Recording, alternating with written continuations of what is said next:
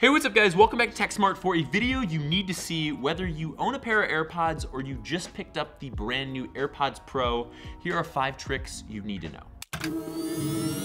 Up first, this is one of the big new features on the AirPods Pro. There's actually software to see if they're fitting in your ear with the best seal or if you should try some of the included ear tips. Kind of cool, right? The only real thing about this test is you don't have to study. So how you enable it is you go into settings and then you're going to scroll on down to Bluetooth. So many pairs of AirPods here. I'm gonna go ahead and throw the right one in, the left one in, and this is known as the ear tip fit test, the ETFP. What? How did I get a P in there? ETFT, ear tip fit test. There we go. And once you scroll down, find your AirPods Pro, you're gonna see this kind of menu, and whether you've seen this or you haven't yet, this is where all the good stuff is. And then right down here is ear tip fit test. You're gonna hit that, and basically it's gonna play a noise and be able to measure the depth of your ear canal and see how good the ear tip you chose. I mean, if it's not a good ear tip, right, you're gonna have to use the ones included. Luckily, it says I have a good seal. These are just the normal ones right out of the box. If you didn't know, with the AirPods Pro, there are included ear tips for the first time ever. Now, if you lose them, it's $4, and I think you get six new ones.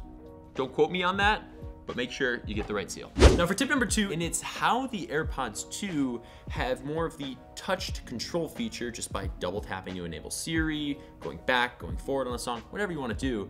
And then on the AirPods Pro, you can just look at the form factor in comparison to the AirPods 2 and see, well, there's this kind of groove here. And when it's in your ear, you put your index and thumb on the groove, and by clicking that once, you'll play pause, twice, go from forward, three times, you'll go backwards.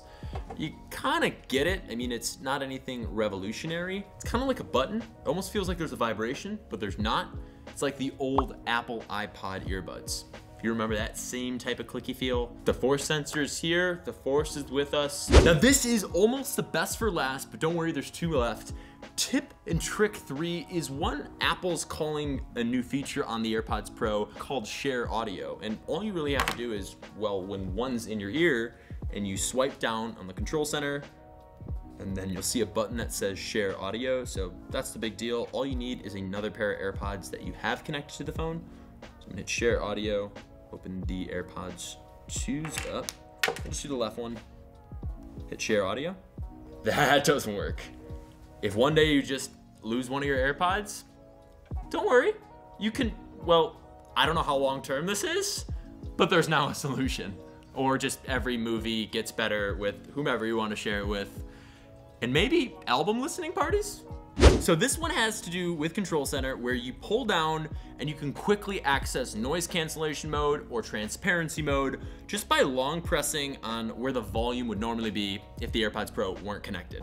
So you have your three options here. Right now, nothing's on. Say that again.